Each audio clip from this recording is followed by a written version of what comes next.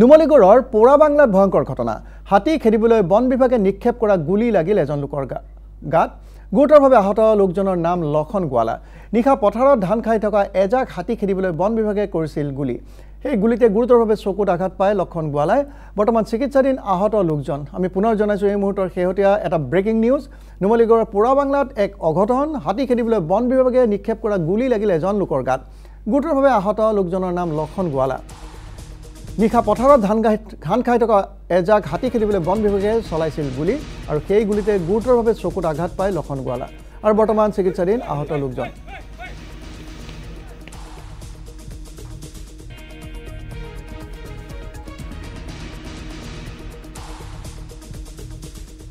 আৰু এইজনে হৈছে লক্ষণ গোৱালা আৰু বন বিভাগে হাতী খেদিবলৈ চলোৱা গুলীত আহত হৈছে চকুত গুলী লাগিছে। আৰু বৰ্তমান চিকিৎসাধীন লক্ষণ গোৱালা। নুমলীগড়ৰ পোৰা বাংলাত সংঘটিত হৈছে এই অঘটন।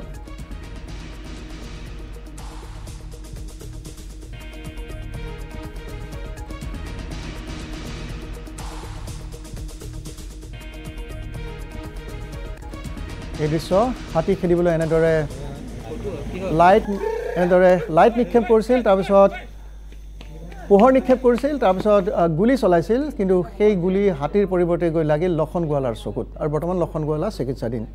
আৰু এয়া লক্ষণ গোৱালা। নুমলীগড় ডিউটি কৰি আহি মই পোৱামোলা আহিছিলোঁ। পোৱামোলাত আহি যেতিয়া মই মাংস লৈ থাকোঁতে গম পালোঁ যে হাতী আমাৰ পথাৰত সোমাইছে।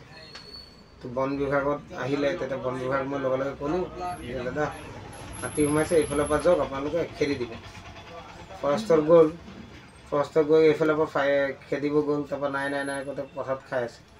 তাৰপৰা মই মানুহৰ এটা ঘৰ চোতালৰ পৰা উঠি মানে প্ৰায় বিছজনমান মানুহ ওপৰত উঠি চাই আছিলোঁ। পথাৰত হাতী খাই আছে। সেইফালৰ পৰা ফায়াৰিং কৰোঁতে আহি ডাইৰেক্ট আহি চকুত লাগিলে।